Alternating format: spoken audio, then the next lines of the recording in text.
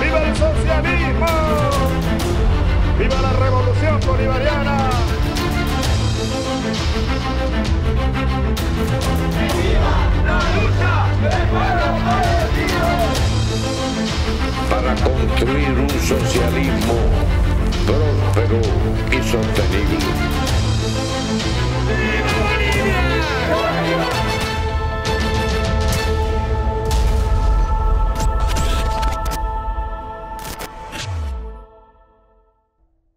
Hola, ¿qué tal? Estamos en un nuevo programa de resumen latinoamericano que se transmite para Argentina, para Perú y Venezuela. Y también lo podrá encontrar en la página web www.resumenlatinoamericano.org. Hoy queremos, ante de empezar el programa, rendir un homenaje a un gran compañero que acaba de dejar su tránsito por, este, por estos lares y ha ido a representarnos en algún otro lugar, seguramente en alguna lucha popular.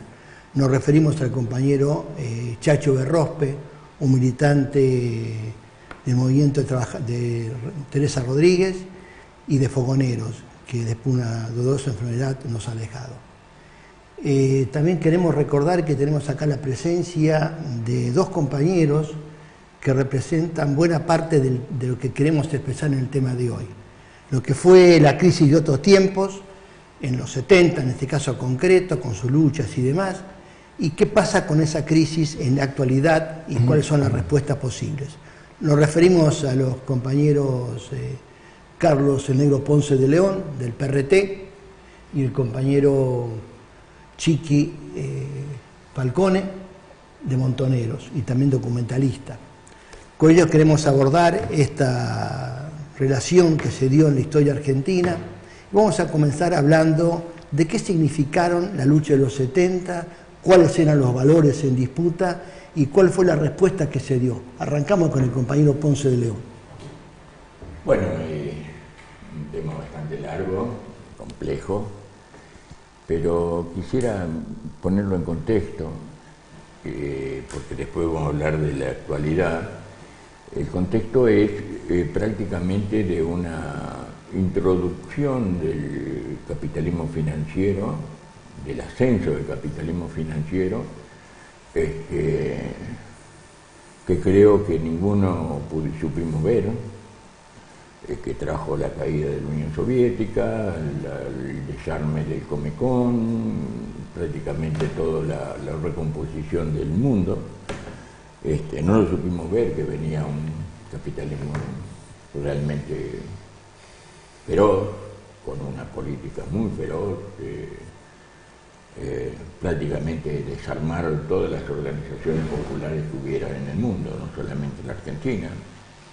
Y bueno, eh, creo que el pueblo argentino dio con su mayor dignidad dio una lucha en desventaja prácticamente, una enorme desventaja, este, porque nosotros sostenemos que esto mm. no es una, un capitalismo dependiente, sino es que la, clase dominante argentina está asociada al capitalismo internacional, al capitalismo financiero internacional. Eh, por lo tanto, no creo que en ese momento no había ninguna otra solución que plantear la salida del sistema capitalista y tomar todas las medidas, digamos, y usar todos los métodos de lucha posibles para enfrentar ese avance. Sí, en aquel momento la respuesta fue claramente de organizaciones político-militares de tipo revolucionario, partidos revolucionarios. Lo que sería interesante, eh, Falcone, que nos comentara cómo se inscribe ese momento en la historia argentina, para después podamos comentar y hablar de lo que pasa en época más reciente, ¿no? Claro, yo diría que fuimos hijos de la modernidad, de la Guerra Fría concretamente, de un mundo bipolar pactado en Yalta en la Segunda Guerra Mundial, que determinó un pensamiento binario. Creo que la consigna patria o muerte de alguna manera expresa ese pensamiento binario. En la Argentina eh, la acumulación de dos siglos de luchas desde la motonera federal, eh, el malón originario, la chusma irigoyenista, eh, las, luchas libertarias, y los descamisados de Perón y Evita posteriori, eh, con su acierto y, con sus desaciertos, conquistaron una década entre el 45 y el 55 de empoderamiento de los sectores populares, que fue, proceso que fue abortado en 1955, abriendo las importaciones al país, sofocando la empresa nacional, persiguiendo a todo pensamiento heterodoxo que cuestionara al sistema.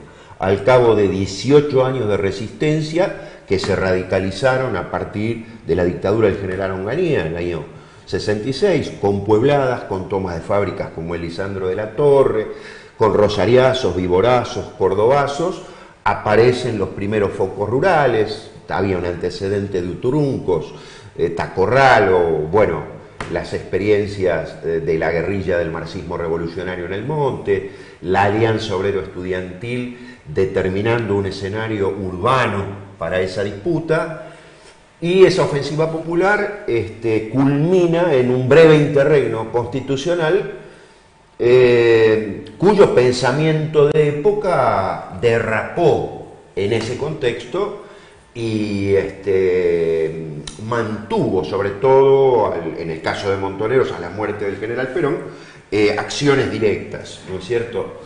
Hoy, a ojos vistas, se podría reflexionar si correspondía pasar a la clandestinidad en 1974, ¿no es cierto? Eh, pero en aquel momento nosotros consideramos que por la traición al programa del Frejuli era lo que correspondía y además estábamos padeciendo el asedio de las bandas paraestatales organizadas por el ministro de Bienestar Social, José López Rega, y así lo creímos.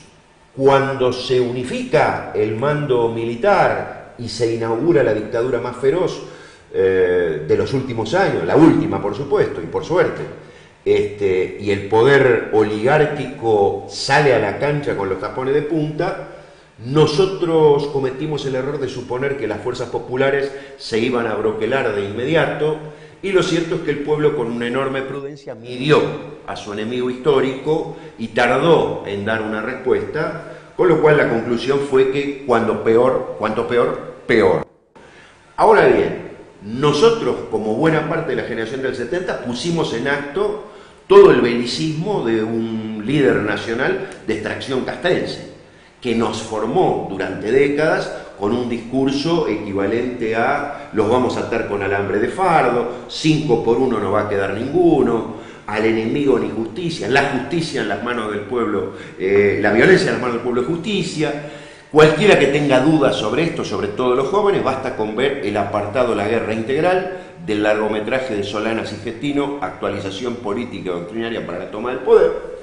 Ahora bien, eh, pese a la infamia que pesa sobre nuestra experiencia todavía, y las autocríticas necesarias, por cierto, de lo que nunca nos vamos a arrepentir, estoy seguro, es de habernos atrevido a debatir públicamente con el propio general Perón de haber contribuido a repatriar los restos de la banderada de los humildes, de haber expropiado a la oligarquía de este país para autofinanciarnos como organización no alineada que fuimos, sin depender de ninguna internacional, eh, y haber marcado a fuego a los grupos económicos de esta oligarquía aliada al gobierno que sigue saqueando la nación.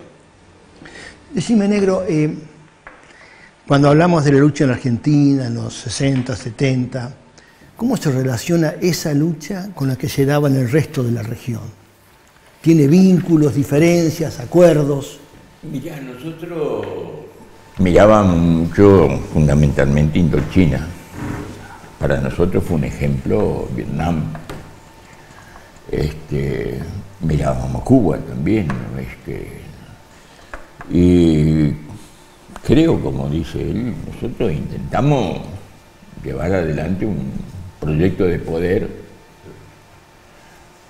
capa y espada. Eh, creo que de eso ninguno de nosotros no debemos arrepentirnos, porque es una lucha, como hoy está planteada, es una lucha muerta contra un sistema que nos lleva a, la muerte.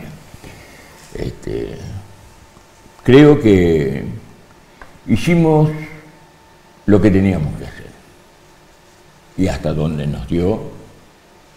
Y también hoy podemos medir la crueldad de la, de la clase dominante, no hablamos del ejército solamente, hablamos de los líderes políticos que fueron cómplices de esta dictadura, hablamos de los líderes de la clase dominante, hoy mismo van a, juzgar, jugarse las elecciones del 2019.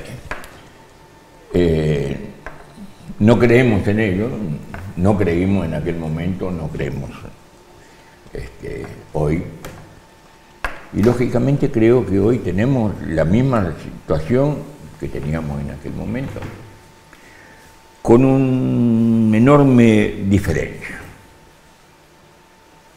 Un capitalismo financiero que va, se va prácticamente a la debacle, con un imperio hegemónico, digamos, de la burguesía financiera imperialista como Estados Unidos, que se va a la debacle, con una prácticamente ya está liquidada la, etapa, digamos, de, la, de las guerras de rapiña, está liquidada, Libia ya fue el último, en Siria se le pone el fin.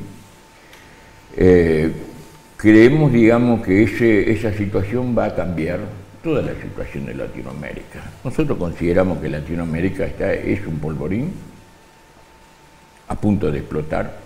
El problema es que no va a tener una dirección. No hay una dirección. Se nos han creado quinta columnas internas en el campo popular. No es una casualidad que no, no logremos consensuar una salida, no es ninguna casualidad. Tenemos quinto columna dentro del campo popular, que no es justamente, no es, como le voy a decir, son desclasados. No forman parte de la clase obrera, no forman parte de la oligarquía tampoco, y que están organizados en partidos.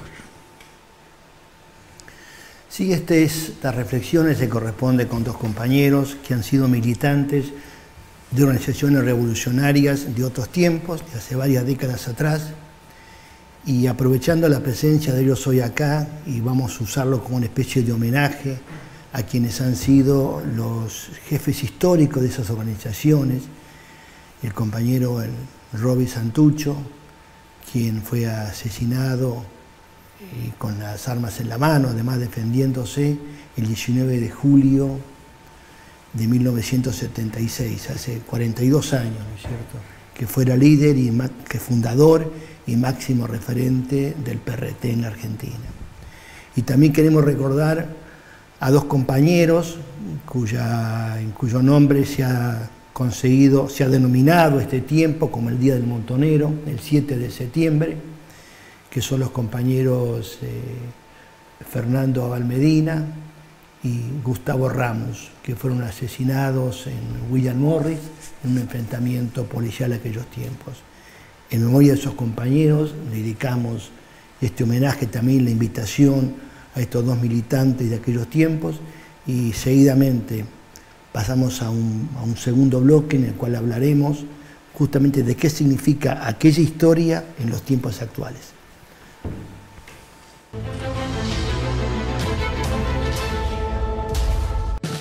Dale vida al sueño que hay en tu corazón.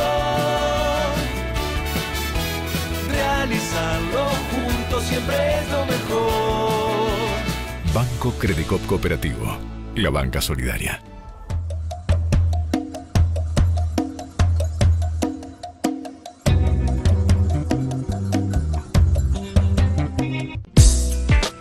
Tenemos derechos, tenemos leyes profesionales porque hay sindicato. Seguimos creciendo en la organización de los trabajadores, en lucha por los derechos de los visitadores médicos de todo el país, transformando el presente y construyendo el futuro. Sindicato de Visitadores Médicos, Asociación Agentes de Propaganda Médica de la República Argentina. Asociación de Trabajadores del Estado, Central de Trabajadores Argentinos.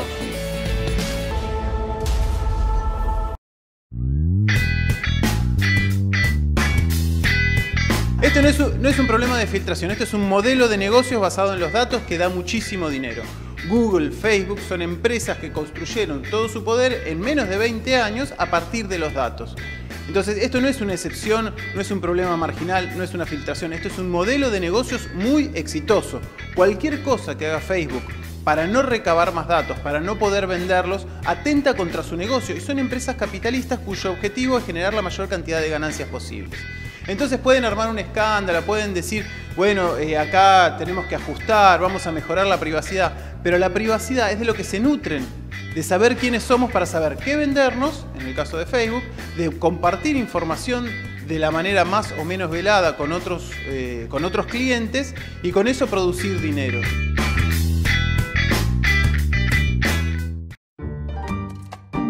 El conflicto surge a raíz de que en enero del 2016, diciembre, eh, no nos pagaron digamos, los, salarios ya se venía digamos, como que, que la intención que tenía la, pa- la patronal de, de- de hacer un desgaste con la gente y que nos vayamos y bueno, y era salir a buscar otra cosa eh, en la situación que estaba en el país también, o quedar a bancar acá en la fábrica. Decidí, bueno, quedarme y, y acá estoy, y qué sé yo. Si hay un problema con un compañero, vamos todos para ahí y tratamos de solucionarlo entre todos. Creo que en eso básicamente eh, hubo un cambio. no, hay otra salida, o buscas otro trabajo o das la lucha y bueno, nosotros dimos la lucha.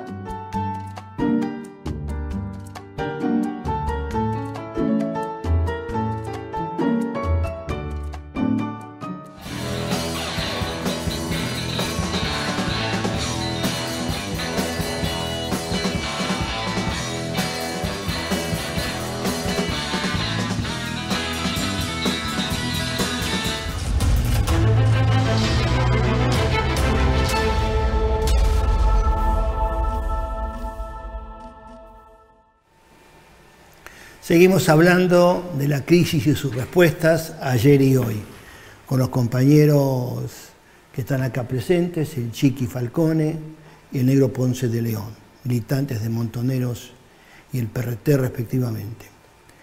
Decíamos de analizar en la segunda parte qué significa hoy esta crisis que estamos viviendo, qué perspectivas tiene y cuáles son las respuestas posibles que se están dando o las que se deberían dar a la misma.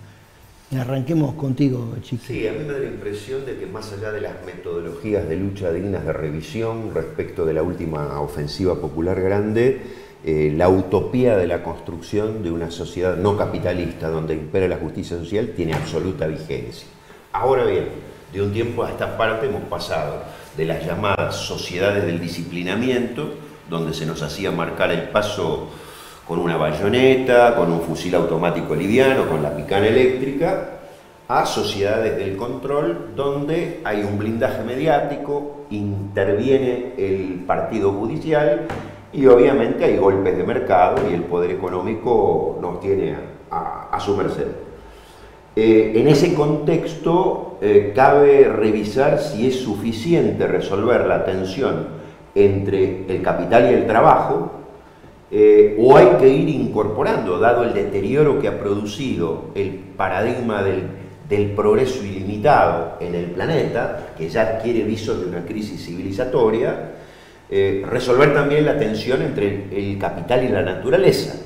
Porque según los investigadores más avanzados, a este tren de consumo de un planeta y medio por año de recursos no renovables, la especie está en tela de juicio en los próximos 180, 200 años. De hecho, hace poco tiempo se murió Stephen Hawking dejando como legado la recomendación de evacuar este planeta en los próximos 30 años.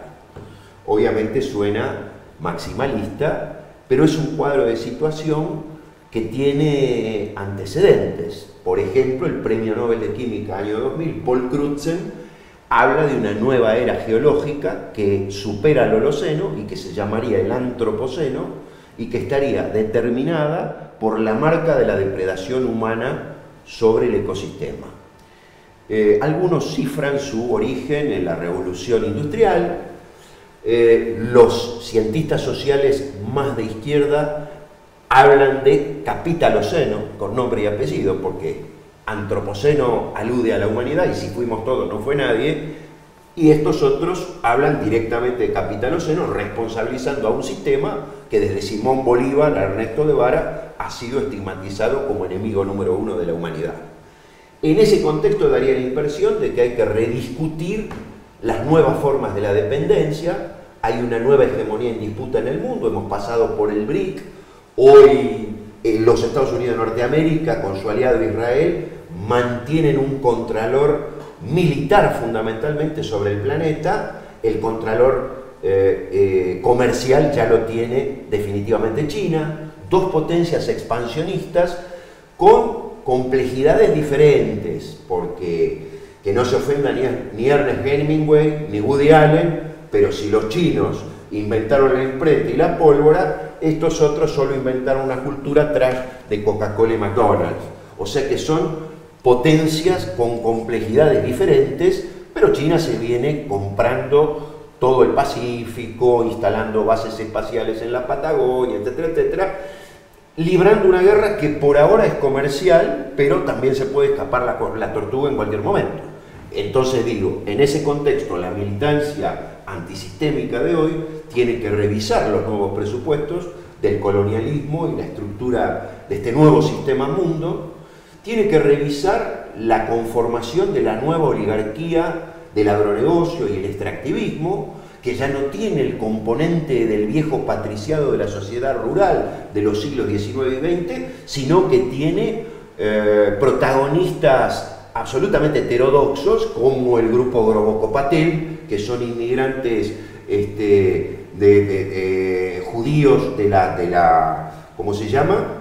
Este, de Entre Ríos, de esa región, eh, con una visión progresista, entre comillas, vienen de una militancia en el PC y que tanto han eh, extendido la frontera agropecuaria, imponiendo el desierto verde de la soja en nuestra región, como bajo regímenes absolutamente totalitarios e incluso le han ofrecido, por pedido del presidente Santos, asesoramiento a las FARC desmovilizadas en ese modelo de apropiación por desposesión. Entonces, me parece que hay un escenario lo suficientemente complejo como para releer una serie de cosas. Y como si esto fuera poco, ya no estamos bajo el paradigma metalmecánico que hacía del sujeto histórico la clase obrera industrial, sino que estamos sufriendo bajo el paradigma informático una transformación de clase obrera en clase trabajadora, formal e informal, y hay a la vez, como si esto fuera poco, una avanzada de la mujer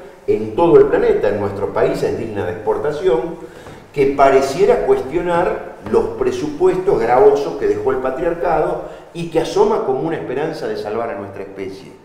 Entonces, en ese sentido, digo, creo que tenemos que rediscutir los métodos de acceso al poder. Intuyo que estas democracias ya no dan respuesta, estas democracias de baja intensidad, que hay que propender a democracias participativas, plebiscitarias, echando manos de recursos como las asambleas constituyentes, que se han puesto en práctica en los procesos más avanzados de la década larga progresista en América Latina, y que incluyen una representatividad de actores sociales que trascienden los vetustos partidos políticos que tenemos.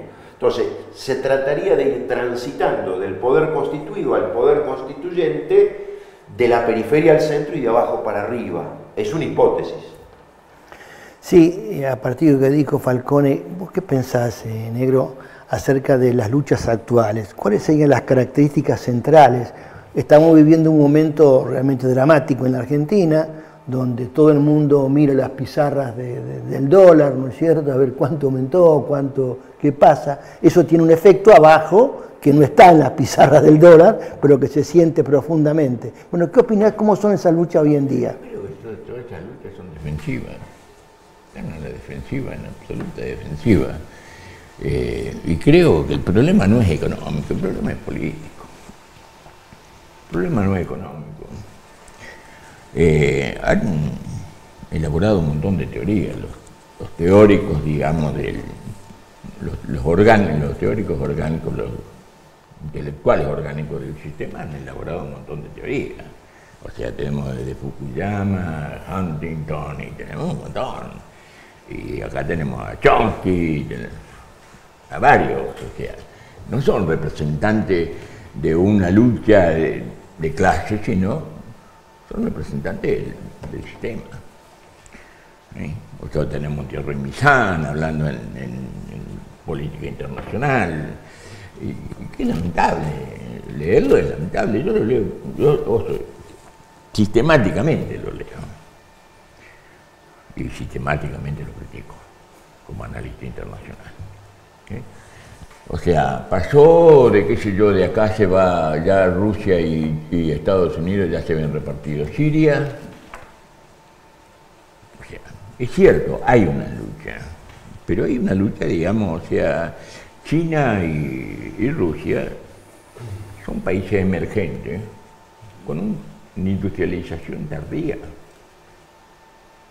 frente a un is- sistema que ya había pasado de, la industrialización al sistema financiero, o sea, hacer dinero del dinero. ¿Sí? Y tenemos muchísimos ejemplos, tenemos el Banco, el banco Islámico de, ¿cómo es? de Túnez, tenemos la lucha contra los iraníes, tenemos un montón de cosas.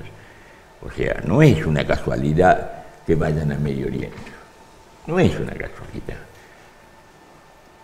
La banca islámica tiene, ¿cómo les voy a decir? Diferentes principios de funcionamiento que la banca financiera capitalista occidental.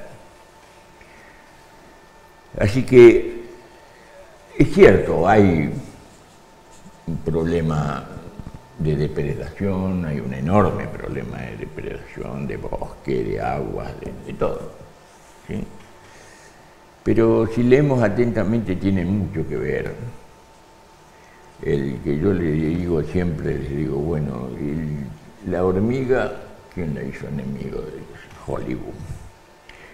El oso, Hollywood. Eh, los grandes terrores, ¿quién los pone? Hollywood. Y Hollywood es el eje de la propaganda del sistema financiero. O sea, no es una casualidad, no es ninguna casualidad.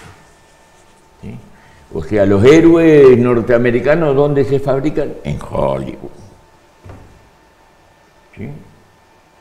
Ustedes fíjense, está- están tratando, intentando ponerles condiciones a los sirios después de haberlos, de- después de haberlos derrotado. Porque ya los derrotaron los sirios, los sirios, los rusos y los iraníes, y Hezbollah. ¿sí? O sea, y, y eso se traslada a este lugar. Todas las luchas hoy que se están dando en el mundo, no solamente en Argentina, son defensivas. Están defendiendo un sistema, como le voy el estado de bienestar. O lo que queda del estado de bienestar. Francia, por ejemplo, Francia es uno de los ejemplos. El ferrocarril, defendiendo la salud, defendiendo la educación. Ahora, hay que preguntarse por qué el capitalismo no avanzó sobre esos lugares antes. Peligro. O sea, nosotros consideramos, digamos, que acá hay un- una crisis que no es una crisis financiera, es una crisis de producción, de superproducción del capitalismo. Es la que se corresponde, digamos, Marx siempre dijo, y lo estudiaron Kondratiev, el primer economista de la Unión Soviética, y Preobrazhenski, polaco. Hay dos tipos de crisis. La crisis cíclica de 3-5 años y la crisis larga.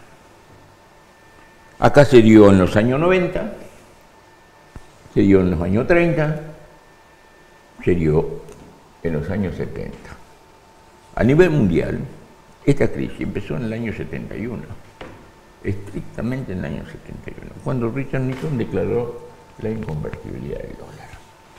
Ahora, el capitalismo cambió, cambiaron los sistemas de, de contención, los sistemas de manipulación, la manipulación monetaria es lo que lleva a, este, a esta agonía del, del sistema financiero. ¿sí? La manipulación monetaria, la, ¿cómo le voy a decir? Eh, el imperio, digamos, del dólar sobre el comercio mundial, sobre la, la- la economía financiera de todo el mundo. Y hoy se está dando, en ese, en ese terreno se está dando una lucha bastante dura. Sí, por cierto. China, Rusia, Irán, Siria, todos los países, la India incluso, la India, ahora Japón se está sumando. O sea, hay toda una, una situación. Yo creo que la visión de los años 70 hoy, hoy sigue absolutamente vigente.